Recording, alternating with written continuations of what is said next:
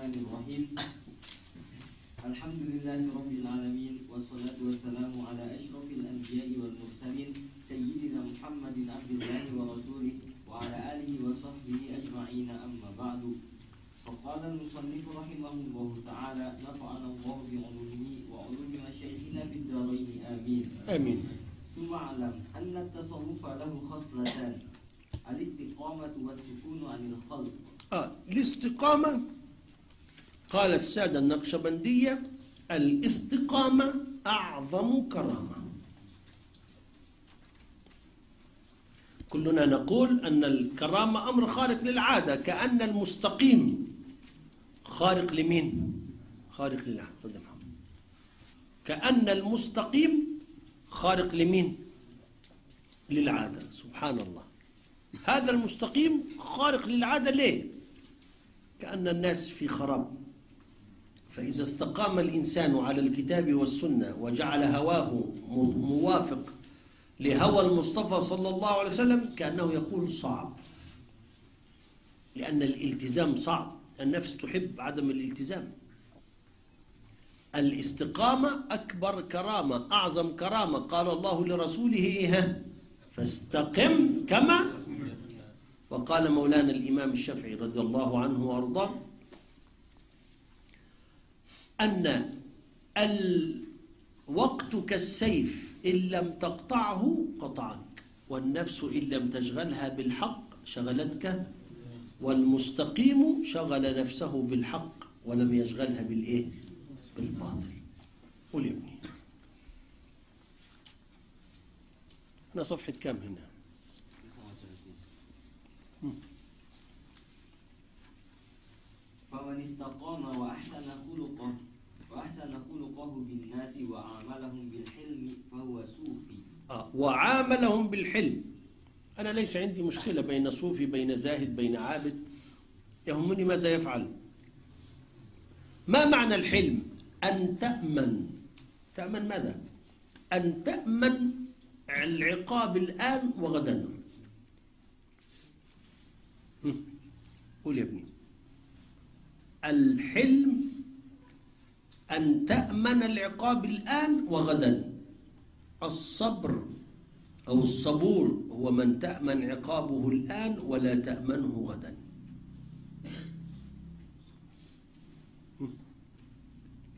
والاستقامة أن يفدي حفظ نفسه لنفسه. شوف حفظ نفسه لنفسه. إن تحفظ نفسك في الدنيا عن المحرمات تحفظ جسدك عن النار يوم القيامة. فهمت؟ إن تحمي نفسك الآن من الوقوع في المحرم ستحمي نفسك يوم القيامة عن أن تقع في الحرام وحسن الخلق مع الناس ألا تحمل الناس على مراد نفسك. بل تحمل نفسك على مرادهم ما لم يخالف الشرع. يعني إيه؟ أنا عندي هوى في نفسي.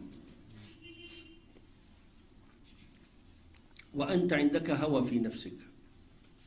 الشيخ يريد أن يأتي في الصباح الباكر عشان الشيخ مش فاضي. هذا هواه. وأنت تريد أن تنام وتأتي متأخر. هذا هواك. كيف نجتمع؟ بأن أنا أعاملك بمعاملتك التي تحب. طب وأنت؟ تعاملني بالمعاملة التي أنا أحبها. هنا كل يرضي الآخر. عامل الناس كما تحب أن يعاملوك.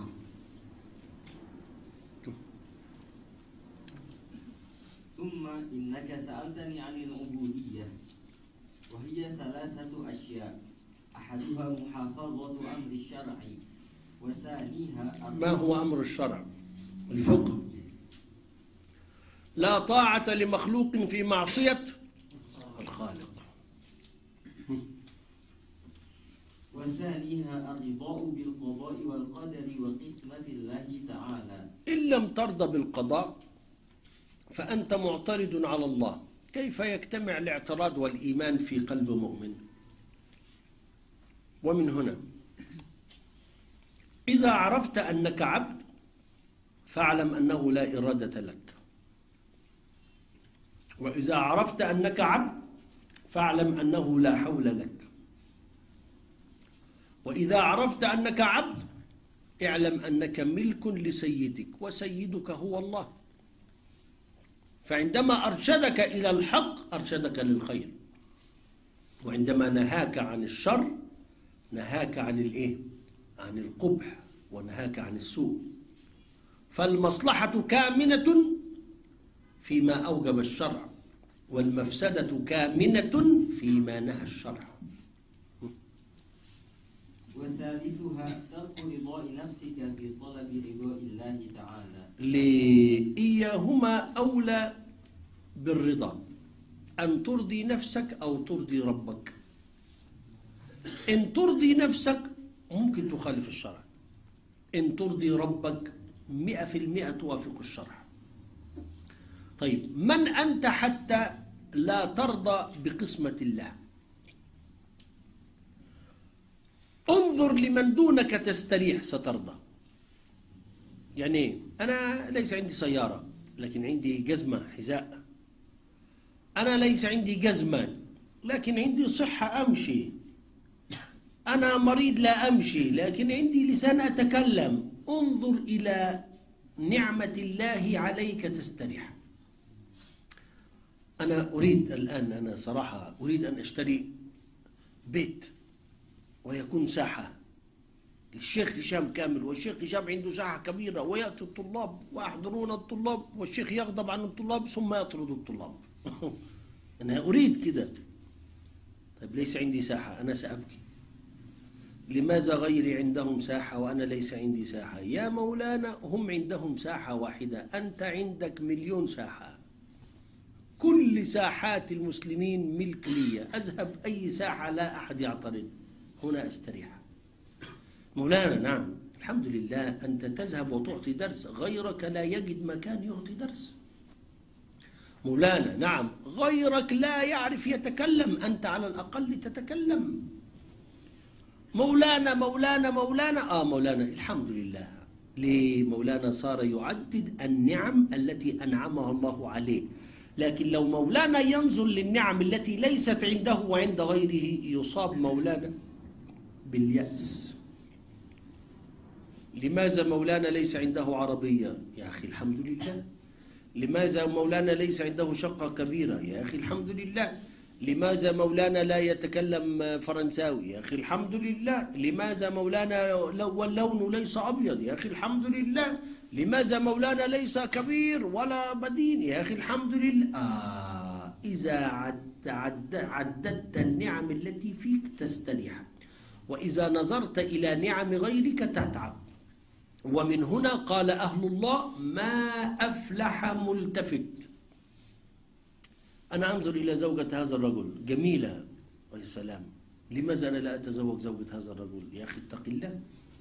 هذا البيت فلان ده جميل قوي لماذا ليس عندي بيت؟ يا أخي اتق الله. ستتحول إلى حاقد وإلى حاسد وإلى كاره. ولن تشعر بالنعمة التي في يدك. ومن هنا ارضى بما قسمه الله لك تكن أغنى الناس. جاء وزير من الفرس إلى عمر في المدينة فوجد عمر نائم وضع حذاءه تحت رأسه وينام في التراب. هو ينظر إلى كسرى فوق رأس كسرى خمسة كيلو ذهب. تاج كسرى. خمسة كيلو ذهب كان لا يستطيع أن يحملها ثقيلة. فكان يربطون حبل من فوق إلى التاج. كأنه الحبل هكذا. فإذا جاء كسرى يجلس فيوضع التاج فوق إيها فوق رأسه. ولكن في حبل يمشي فوق. فكأن كسرى يرتدي تاج بدون أن يكون التاج على رأسه بقوة. خمسة كيلو يعني كثير. سبحان الله. كسرى أين يسكن؟ يسكن في قصر. أين يسكن؟ في رخام في بلاط في ذهب في جواري جميلات في شهوات في طعام. لكن الرجل رأى عمر في راحة وفي سعادة جعلته ينام على التراب لا يخشى شيئا من أحد. فقال حكمت فعدلت فنمت. شوف المقدمات جعلوك حاكم. فحكمت بالعدل فاسترحت. فاستوى عندك أن تنام في قصر أو أن تنام على التراب. شوف كأنه يقارن بين سعادة عمر وسعادة كسرى ففاز عمر. حكمت فعدلت فنمت. هذه القضية. ممكن إنسان يكون عنده مكتبة ألف كتاب لكنه لا يقرأ. ممكن يكون واحد عنده جورنال يقرأه مرة اثنين ثلاثة يستفيد. في ناس عندها لحم ودجاج لكن ممنوع من الطبيب. في واحد يأكل فول وغير ممنوع من الطبيب. ومن هنا كل إنسان في نعمة بس العاقل الرشيد هو الذي يقف على نعم الله عنده ولا ينظر إلى نعم الله التي أعطاها للغير. فما أفلح ملتفت. من لم يرضى بقضائي سلطت عليه الدنيا فجعلته يرى عيوبه في المرآة ولن أغير من حاله شيئا. خلاص يا مولانا فهمتم؟ قول يا سيد بطاطس. وسألتني عن التوكل. وهو أن تستحكم اعتقادك بالله تعالى فيما وعد. آه التوكل. التوكل هو الاعتماد على الله فلا حول لك ولا قوة ولكن مع الأخذ بالأسباب. الله يرزق ولا لا يرزق؟ بس طلب منك أن تدب. وما من دابة في الأرض إلا على الله فأنت تمشي والله يرسل الرزق. لكن ما رأيك في من ينام في البيت ويقول والله إذا أراد الله رزقي سيأتيني؟ قد يأتيني إيه المشكلة؟ قد يأتي الرزق وأنت نائم في البيت لكن أنت لم تأخذ بالأسباب. هذا اسمه تواكل ما هو التواكل؟ الاعتماد على الله من غير الأخذ بالأسباب. ما هو التوكل؟ الاعتماد على الله مع الأخذ بالأسباب.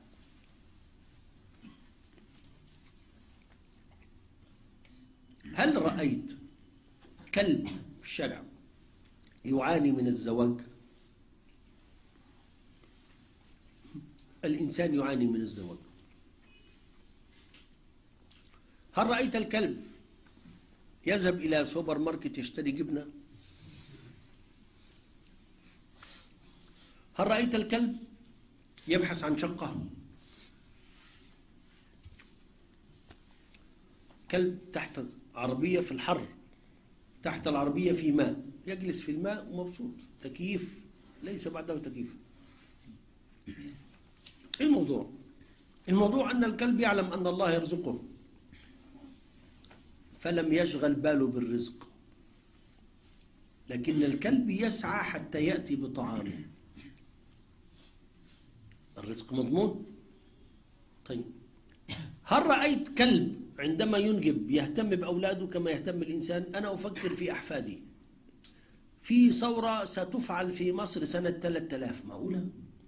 سنة 3000 ستأتي ثورة في مصر؟ أيوة. سبحان الله. يعني أحفاد أحفاد أحفاد أحفادي ممكن يموتوا في الثورة؟ ممكن. أنا حزين حزين على 3000 سنة. أنا أعمل عمل الله. ما دمت تعمل عمل الله؟ تغرم. لا يا مولانا. دبر ألا تدبر. فكر ألا تفكر. ألا تفكر فين؟ ألا تفكر في عمل الله. أنا مأمور بالأسباب وغير مأمور بالنتائج. الله أمرني أن آتي إلى هنا وأعطي درس لكن أنا لا أكلف نفسي جهدا أنكم جميعا تكونوا سعداء بالدرس. أنا أحاول فقط لكن السعادة من الله. أنا أحاول أن أقول معلومة لكن الفهم على الله لكني أنا سبب.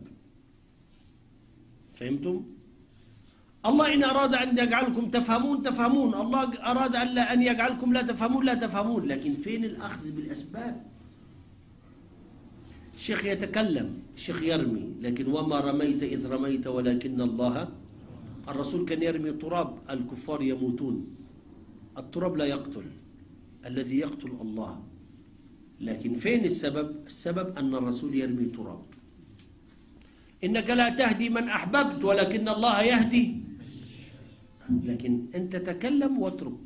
يا إبراهيم إنما عليك البلاغ أبدا. إنما عليك النداء وعلينا البلاغ.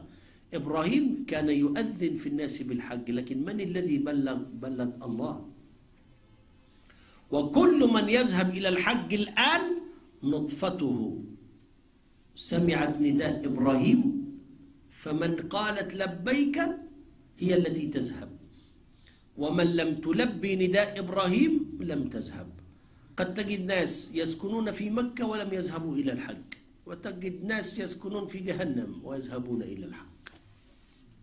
من لبى نداء إبراهيم؟ الأخذ بالإيه وترك النتائج على من؟ قول تعتقد أن ما قدر لك سيصل إليك سيصل إليك لا محالة. وإن اجتهد كل من في العالم على صرفه عنك وما لم يكتب لك لن يصل إليك وإن ساعدك جميع العالم. قال مولانا ابن عطاء. كلام جميل. قال اجتهادك فيما ضمن لك وتقصيرك فيما طلب منك دليل على انطماس البصيرة فيك قلبك لا يرى. يعني أنا الآن أهو أسعى وراء المال والمال مضمون. وأقصر في العبادة والعبادة مطلوبة. فإذا كان هذا حالي اعلم أن قلبي أعمى لا يرى. ده ليس كلامي ده كلام مين؟ ابن عطاء الذي انتقل لرحمة الله سنة 709 كان ابن تيمية إذا رآه قال له مرحبا بولي الله. شوف العلم أهل العلم يعرفون بعض. أكرر اجتهادك سعيك في ماذا؟ في المضمون. الرزق مضمون. الشيخ ماذا فعل حتى يشرب شيء لا شيء. الشيخ لم يفعل شيء حتى يشرب شاي ويأكل موز ويأكل ويأكل ويأكل لم يفعل شيء. هذا رزق. مضمون ولا غير مضمون؟ مضمون. لكن الشيخ لا يصلي. آه قصرت فيما طلب منك. الشيخ لا يصوم قصرت فيما طلب منك.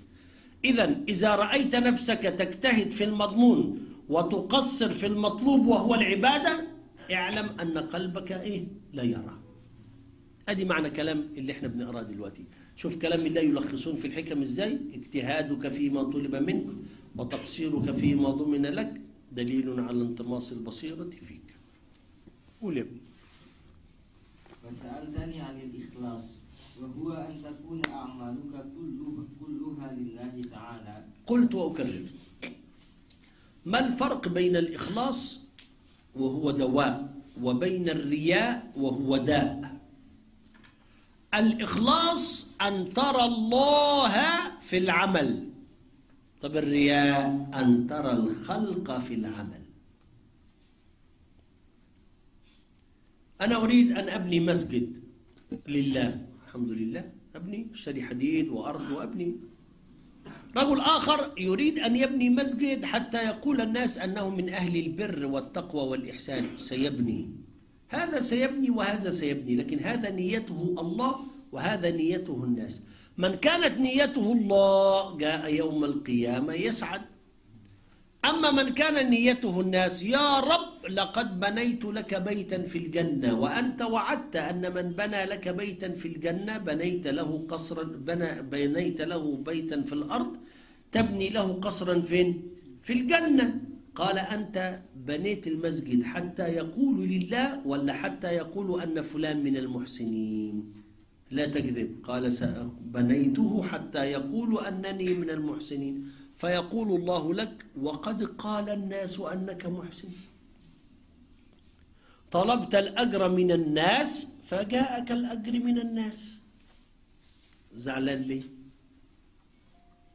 طيب يعني لا يوجد ثواب يا رب؟ لا يوجد ثواب لأنك مرتاح والرياء يحبط العمل. ما هو الرياء؟ أن تعمل العمل للناس. ما هو الإخلاص؟ أن تعمل العمل لله. ما الفرق بين الرياء والإخلاص؟ شعرة. لله ولا للناس؟ لله إخلاص للناس رياء. ولا يرتاح قلبك بمحامد الناس ولا تبالي بمذمتهم. آه في علامة على أنك جيد. كيف تعرف أنك جيد؟ إذا استوى مدح الناس وذمهم لك. تفضل. شيخ هشام أنا أعلم أهل الأرض. أنا فرحان جدا.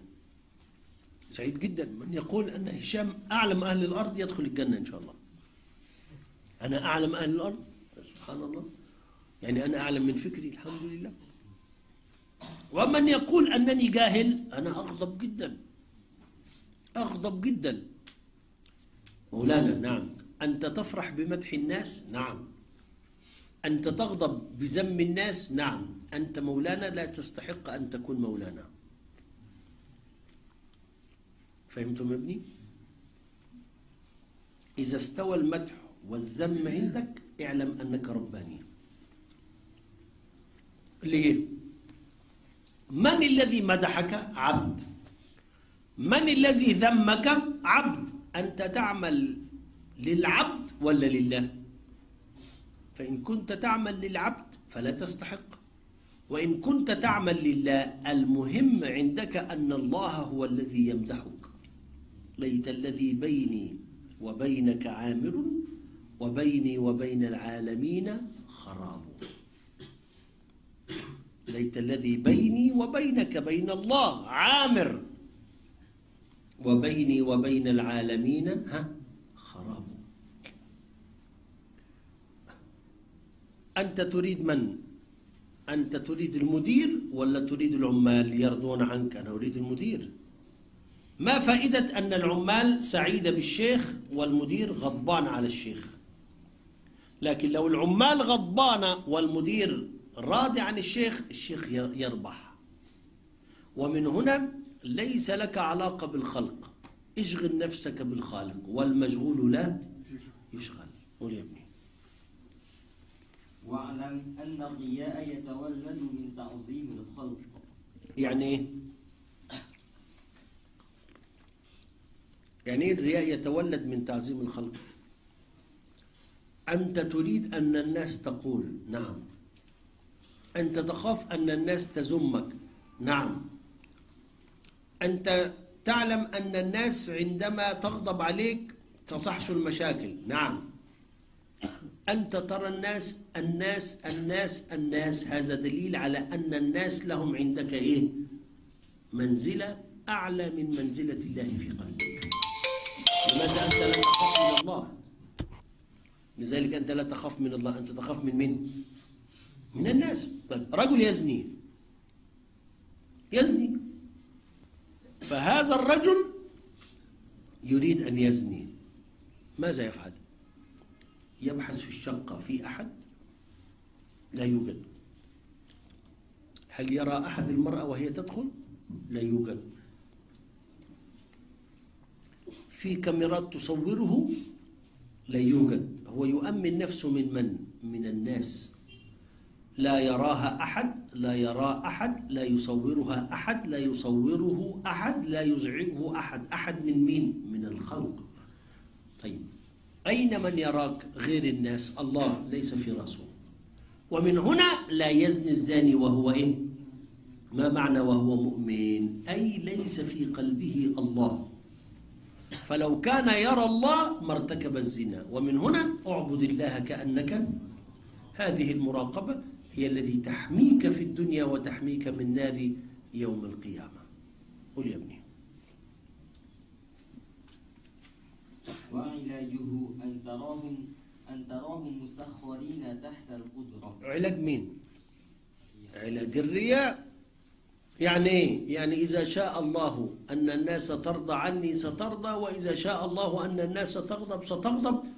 إلهي إن لم يكن لك علي غضب فلا أبالي. إلهي إن لم يكن لك علي غضب. فلا أبالي. إن أنت يا رب لا تغضب علي فليغضب من يغضب وليفرح من يفرح. نحن لا نتعامل إلا مع مين؟ مع الله. وتحسبهم كالجمادات في عدم قدرة إيصال الراحة. ما معنى كالجمادات؟ كأن الإنسان غير موجود. أنت تتعامل مع الله ولا مع الإنسان؟ مع الله. خلاص اترك العبد. من تعامل مع الله الله أرغم العبد أن يعامله. من خاف من الله.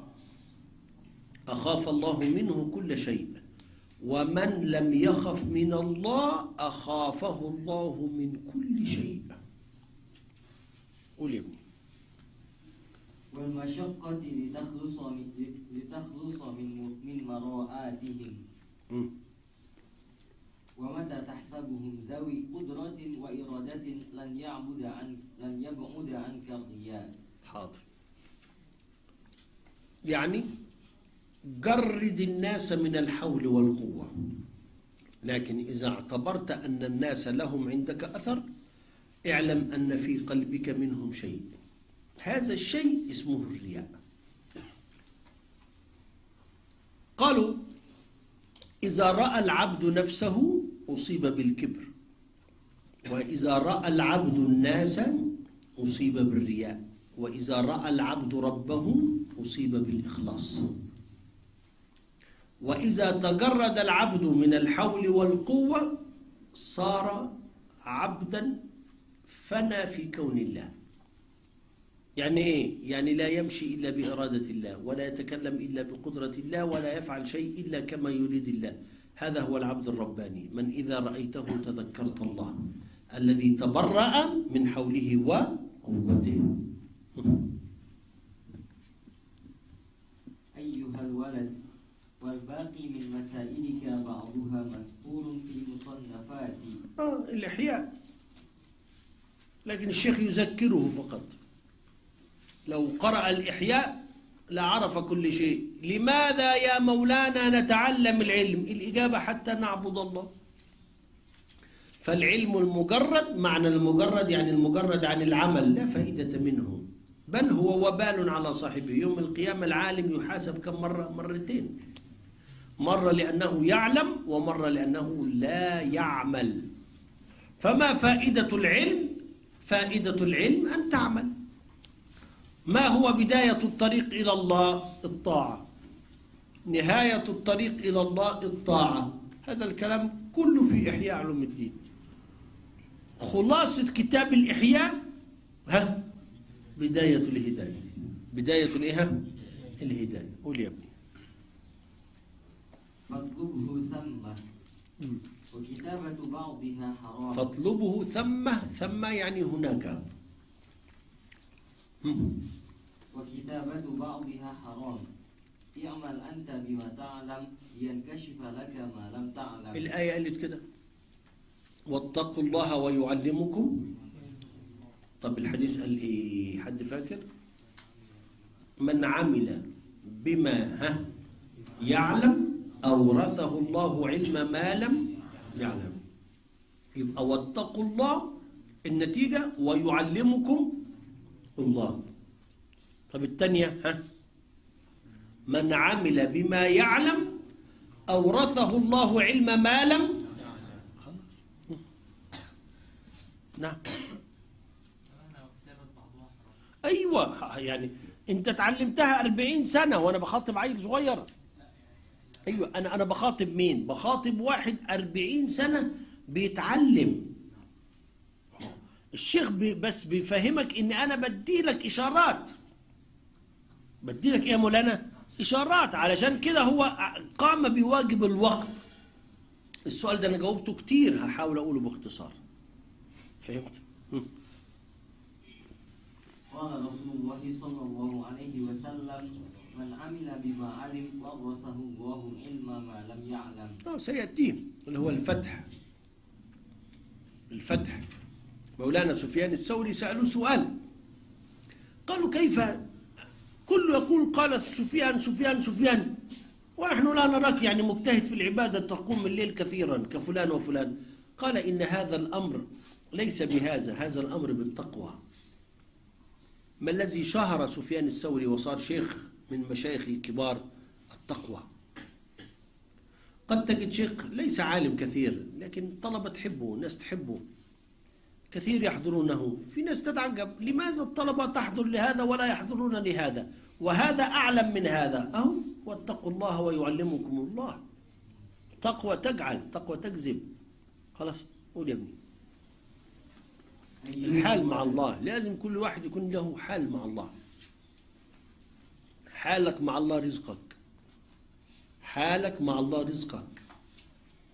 طلابك رزقك. كتبك رزقك. مؤلفاتك رزقك. سعيك رزقك. كل هذا متوقف على التقوى. أيها الولد بعد اليوم لا تسألني ما أشكل عليك إلا بلسان الجن بلسان الجنان. الجنان القلب. شفت يا ابننا شفت؟ شوف بيعاتبوا إزاي؟ قد أنت عارفها. لا تسألني بلسانك. اجعل قلبك هو الذي يسأل. اجعل إيه؟ قلبك. لأن قلبك سيجيب. أين ما, ما الذي يسكن في القلب؟ الخوف من الله. تقوى. أشرف ما في الإنسان القلب واللسان.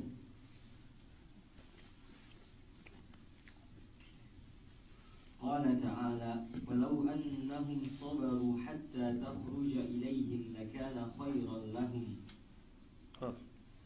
واقبل نصيحة الخضر عليه السلام حين قال فلا تسألني عن شيء حتى أحدث لك منه ذكرا. يعني عايزه يصبر ويتحمل. وما لم تفهمه الآن تفهمه في الغد. ولا تستعجل حتى تبلغ أوانه, أوانه حتى تبلغ أو أن أو أن يكشف لك أو أن يكشف لك وتراه. كما قلنا العلم ثلاثة أشبار. من بلغ الأول تكبر ومن بلغ الثاني علم أنه تواضع ومن بلغ الثالث علم أنه لم يعلم إيه؟ إيه معنى الكلام؟ الجاهل دائما يأخذ الأمر على ظاهره. العاقل بحسب خبرته. أنا لا أفهم إلا في النحو. فعندما تأتي آية أنا أعرب. واحد يفهم في النحو والصرف فيفهمها من زاوية النحو والصرف. واحد يفهم في البلاغة يفهمها من زاوية النحو والصرف والبلاغة وكلما ازداد الإنسان علما كلما تكشفت له حقائق الأمور. تكشفت له حقائق الأمور. ومن هنا مولانا العلم يحتاج إلى صبر. العلم الآن يحتاج إلى فكرة. العلم يحتاج إلى معارف. العلم يحتاج إلى بداية للطريق كما قلت لك. من استعجل شيئا قبل أوانه عوقب بحرمانه. لا تتصدر قبل أن تتسلح لكن لا تجلس العمر كله تتسلح. قالوا من قرأ ثلاثة كتب في علم واحد صار من أهل التخصص فما بالك لو قرأها على شيخ؟ يكون أمر جميل.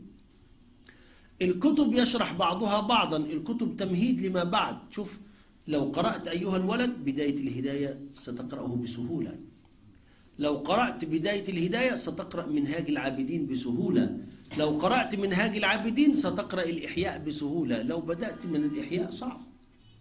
أنتم أهل خبرة يعني. أنتم الحمد لله شافعية. أول كتاب تقرأه تقرأ الأمة على طول يعني عشان نأتي من الآخر. أنا أعلم أن طلاب ماليزيا دائما يقرؤون الأم. أول كتاب يقرأه وآخر كتاب. حتى لا يضيع الوقت. هذا ضلال مبين لكن عادي ضلال ماليزي في ضلال عربي في ضلال إندونيسي لكن ده ضلال إيه؟ ماليزي لا مولانا ليس الأم في ترقي قبل الأم عشر كتب خمس كتب سبع كتب ثلاث كتب من قرأ ثلاثة كتب في علم معين ها صار من أهل التخصص خاصة لو قرأها مع مين؟ مع شيخ ليه؟ لأن الشيخ يقرأ ويلخص ثم يعلم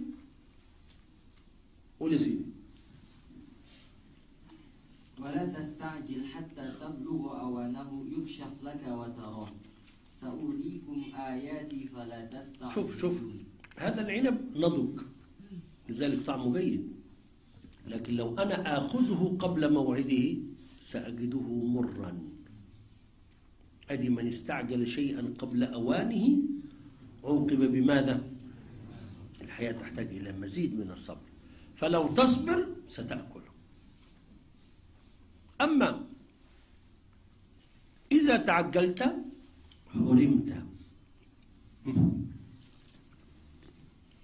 فلا تسألني قبل الوقت وتيقن أنك لا تصل إلا بالسير إلا بالسير. لقوله تعالى أولم يسيروا في الأرض فينظروا. هو هنا في بلاغة يشبه الوصول الطريق إلى الله بأنه طريق يسلكه السالك.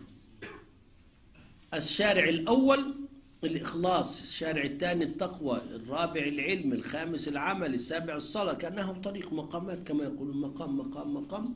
في النهاية تصل إلى الله. كيف أصل إلى الله عندما تكون من أولياء الله؟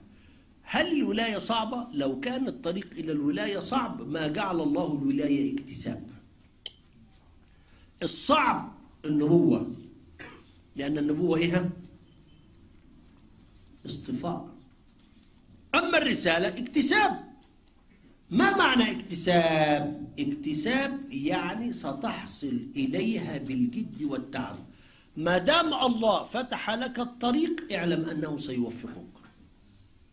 لو الله لا يريد لي أن أشرح لم آتي اليوم. لو الله لا يريد لي أن آكل هذا الطعام ما جاءني إلى هنا. لو الله لا يريد لي أن أفعل شيء لم ييسره لي. ما دام الله يسره لك خلاص. فهمت؟ الله إن يسر علامة على القبول. دي علامات الأمر السهل الميسر التيسير. لكن اللي لقيت فيه مشاكل خلاص نعمل إيه؟ في بعض الطلاب يريدوني أذهب إلى محاضرة. قالوا مولانا فاضي إمتى؟ قلت الأحد شوية. مولانا معلش الأحد يتعارض مع الطلاب فلان الفلاني. طيب الخميس. مولانا معلش الخميس يتعارضون مع فلان الفلاني. قلت لهم خلاص دعوني أفكر. فأنا فاضي يوم الإيه؟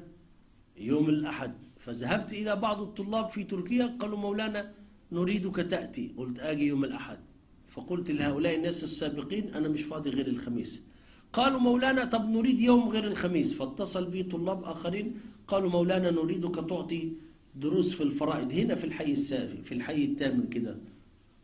كل ما أرفض وينشغل يوم الخميس يعود مرة أخرى ويفضى أول مرة كنا نذهب إلى تركيا ثاني مرة كنا نذهب إلى طلاب المقطم وهذا يعتذر بعدما يوافق وهذا يعتذر بعدما يوافق. ثم يأتي أصحاب الدورة للفرائض ويقولون رجاء تأتينا الخميس. فكأن الله يقول كلما نهرب منهم نعود إليهم ده اسمه إيه؟ تيسير فإذا وجدت الباب مغلق في أمر والباب مفتوح في أمر امشي فهمت؟ دايما إذا الباب مفتوح خلاص ومن أجمل الأدعية يا فتاح من غير مفتاح. كان شيخي دايما يقول كده. قول يا فتاح من غير مفتاح. تجد الأبواب المغلقة مفتوحة. يا فتاح يفتح. الله يفتح. لكن من غير إيه؟ من غير كي.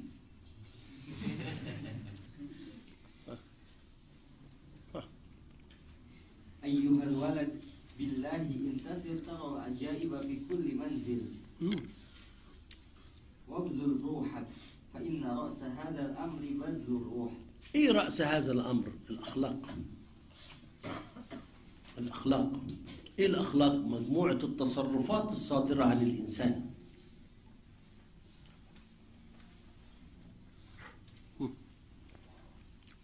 كما قال ذو النون المصري رحمه الله من تعالى أكابر الأولياء.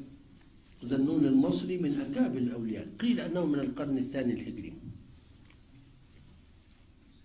لأحد من تلامذته وقالوا أنه كان يسكن في جنوب مصر. إن قدرت على بذل الروح فتعالى وإلا فلا تشتغل بترحال الصوفية. كن دائما مع الشرع ولا تخالف الشرع. أحيانا إبليس يزين على العابد. أمورا ليس لها فائدة. ومن هنا إذا أردت أن تنجو من الدنيا فتمسك بالشرع. سئل مولانا الجنيد من علماء القرن الثالث الهجري ما التصوف؟ قال كل خلق سني. ما هو التصوف؟ قال هو ما وافق الكتاب والسنة. تصوف ليس أمر خارج عن الدين. لكن قد أنا أفعل أمور تخرج عن الدين. أنت مسلم؟ نعم. الرسول ألم يقل أن المسلم لا يكذب؟ لا يكذب لكن أنا أكذب. مسلم عاصي. بعض الناس يقولون صوفية يفعلون صوفية يفعلون. نحن نتكلم عن صفاء القلب. نتكلم عن العلاقة مع الله لا يضرني. هذا يقول صوفي والسلفي يقول زاهد. لا يضرني صوفي ولا زاهد. أنا يهمني ماذا يفعل. الصوفية يفعلون المسلمون يفعلون السلفية يفعلون المؤمنين يفعلون الكفار يفعلون كله يفعل. نحن نحكم على العمل ليس لنا بالشخص. لا مشاحة في الألفاظ لا مشاحة فين أيها الولد إني أنصحك بثمانية أشياء. اقبلها مني لئلا يكون علمك خصمك يوم القيامة. تعمل منها أربعة وتدع منها أربعة. ده آخر الكتاب. صفحة كم الآن والثمن أمور هي خلاصة الكتاب. وهي أجمل ما في الكتاب. لذلك رجاء تحفظها وتخرجها لتكتبها. فهي خبرة شيخ كبير مشهود له بالعلم. يسأل أحد طلابه بعد مدة استمرت 30 سنة دراسة. ثم يسأله ماذا استفدت مني؟ فقال واحد اثنين ثلاثة أربعة خمسة ستة. ومن هنا؟ لن تنجح في حياتك إلا إذا قمت ببنائها على تجارب السابقين. اليوم في علم منتشر اسمه علم التنمية البشرية تعرفون؟ لا تعرفون التنمية البشرية؟ ليه كده؟ تسمعون عن الدكتور إبراهيم الفقي رحمه الله؟ كتب كده. القوة النفسية وكيف تنجح كيف تكسب الأصدقاء لا تعرفون؟ خلاص كويس. هم قالوا أن كل إنسان له طاقة. كيف نخرج هذه الطاقة؟ كل إنسان منا عنده نعم. كيف نشعره بالنعم؟ لا يوجد إنسان فاشل يوجد إنسان كسلان. إن تتعود على العمل تعمل وإن تتعود على الراحة تتعب. لا يوجد إنسان جاهل هو الذي جعل نفسه جاهل. لا يوجد إنسان موصوف بصفات سيئة. هو الذي اكتسب هذه الصفات السيئة. ومن هنا إن نقرأ هذه العلوم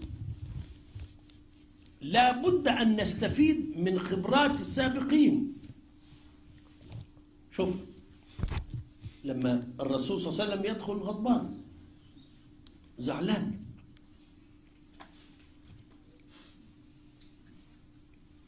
شاء الله أن الرسول في صلح الحديبية صلى الله عليه وسلم ما الذي جعله يذهب إلى صلح الحديبية؟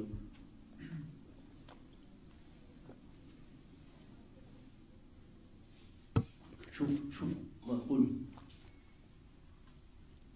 الرسول ذهب إلى مكة لرؤيا رآها في المنام.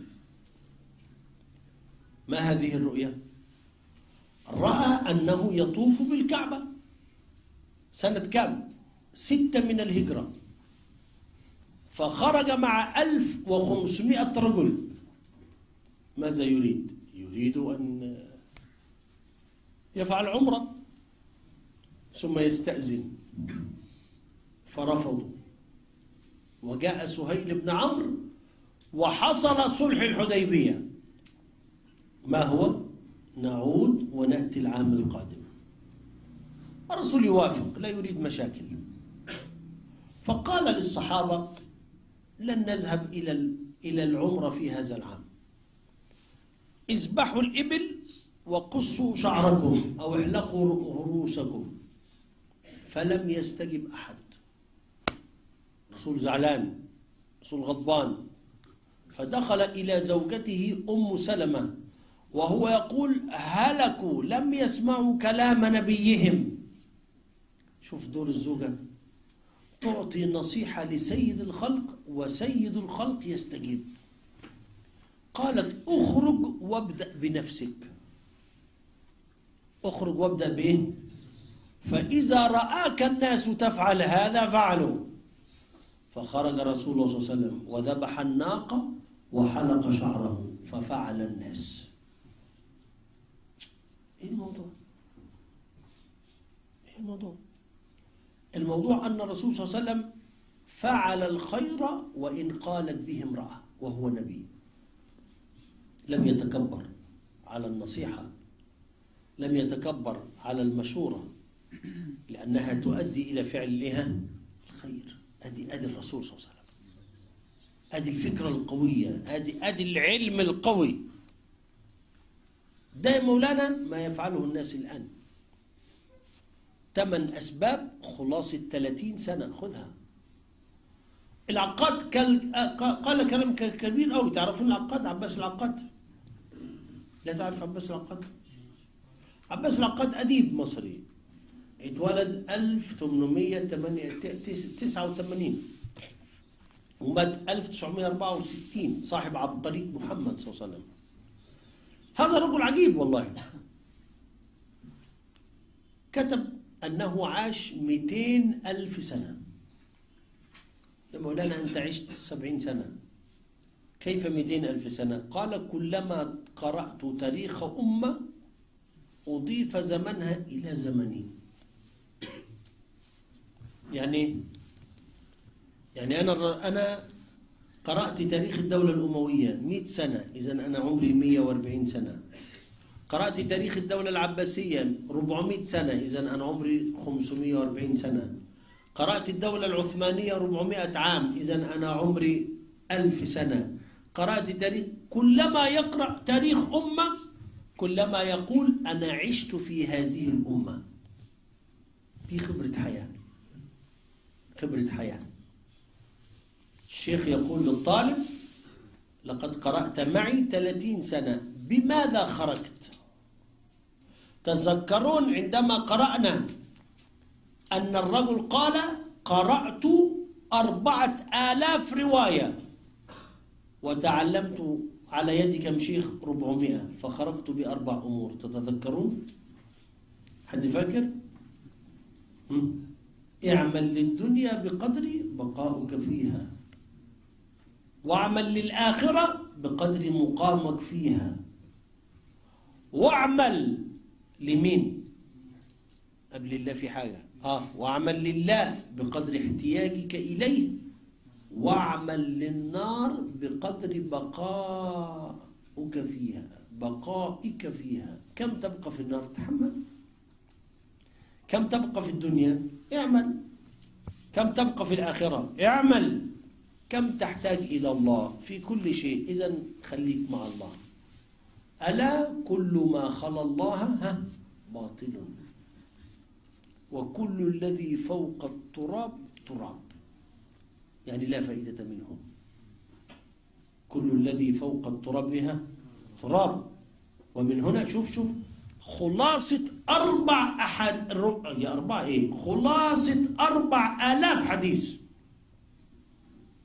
اعمل للدنيا بقدر بقاؤك فيها واعمل للآخرة بقدر مقامك فيها واعمل لله بقدر احتياجك إلى الله واعمل للنار بقدر ها؟ بقاؤك فيها. كم تستطيع أن تتحمل في جهنم؟ مستحيل لحظة. إذا تخاف من النار في كل لحظة. كان الرسول ينظر إلى السماء وكأنه ينظر إلى النار ويقول اتقوا النار. اتقوا النار في الثالثة اتقوا النار ولو بشق تمرة. ولو بشق إيه؟ اللهم صل أفضل صلاة على أسعد مخلوقاتك سيدنا محمد وعلى آله وصحبه وسلم عدد معلوماتك ومداد كلماتك كلما ذكرك الذاكرون غفل عن ذكره الغافلون